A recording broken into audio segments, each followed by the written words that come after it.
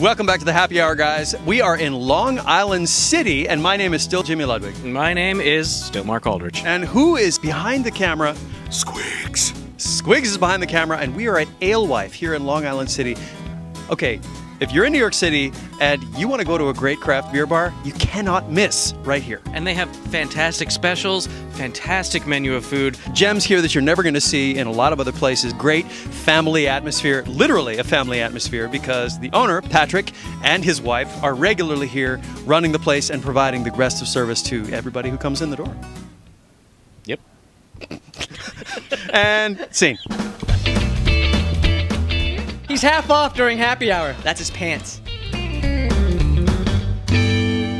Please, sir, give us your name and your title, your department.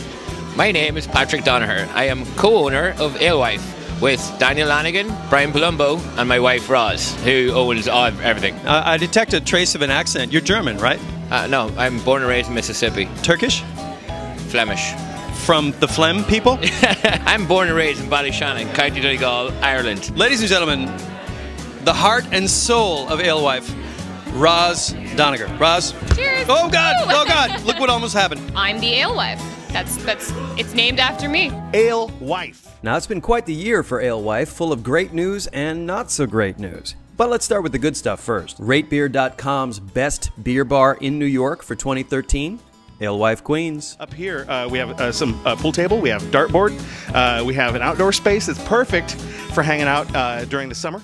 Great spots to hang upstairs, pool tables, an outdoor seating space, great specials, and if that name sounds familiar to you, there is a sister bar, Alewife, in Baltimore. Look for an episode featuring Baltimore soon, but now let's get back to Queens and why we love these guys so much. They're a family. It's been a tough challenge here, but we're getting there, and you know, we got a lot of things hit us. We got Sandy hit us. We talked earlier about how Sandy had really impacted not not just Alewife, but your neighborhood and, and you as well. You live right down the street, right? Yeah, we live a couple of blocks away. So we were watching. We closed the bar that night because the storm was coming in. It came up 35 feet. And we're like, oh, the bar's fine. We're like, you know, two, three hundred yards away from the water here. We come in, we see water all along here. It's like two, three inches of water here. We're like, oh, it's not too bad. Then we went downstairs, two to four feet of water in different parts, and it was scary as hell. We were like, all our electricity was gone. Panels were gone, our glycol machines were gone, our motors were gone. But uh, I want to point out that in the midst of everything that was going on with you guys, you you went well out of your way to give back to the community and to be a source of comfort to people. Some friends of ours donated some beer to us, and we started tapping it because a lot of all these buildings around us were all completely wiped out.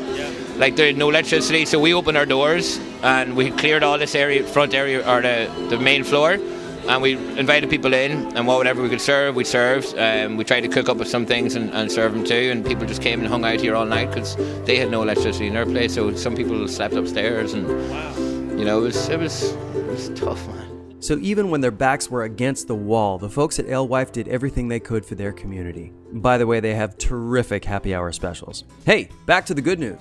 Do I have something in my teeth? So the food has arrived, and Gregorio is going to describe to us exactly what's going on as Julia Child. Go. So it's quite a pleasure to cook for you all today.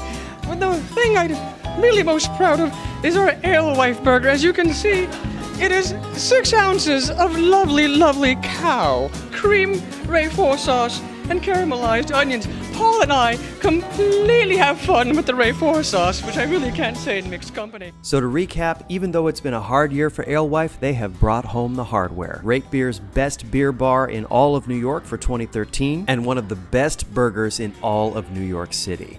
What are you waiting for? Take the 7 train out to the Vernon Jackson stop. Oh, and one more thing.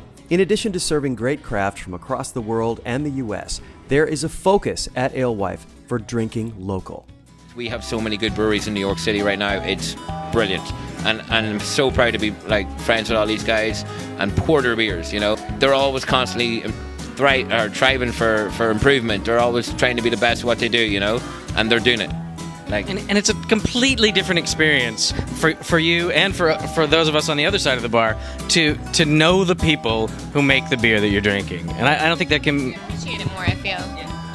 knowing what they go through every day and, and you know what hardships they, they, went through. They yeah. work so hard. It's ridiculous how hard these guys work. Yeah. They're up every morning at five thirty, six 6 in the morning just to get their uh, brew day started. The Alewife Queens, it is a cannot miss. See you next time. We're always here to drink beer with you.